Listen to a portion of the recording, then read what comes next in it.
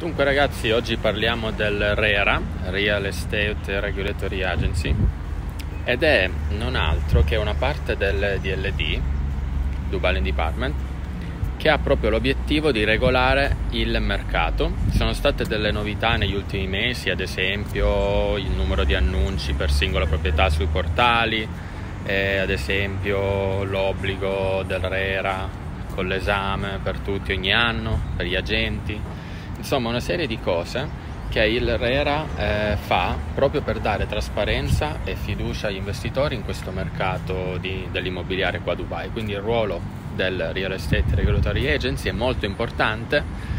E un'altra cosa che fa, per esempio, eh, gestisce le dispute che possono nascere fra proprietari di casa e inquilini e anche di quanto possono essere aumentati i prezzi degli affitti delle case in base al mercato. Quindi rimanete aggiornati e per il vostro investimento a Dubai contattatemi perché ci sono tante cose che vi posso suggerire. Ciao a tutti!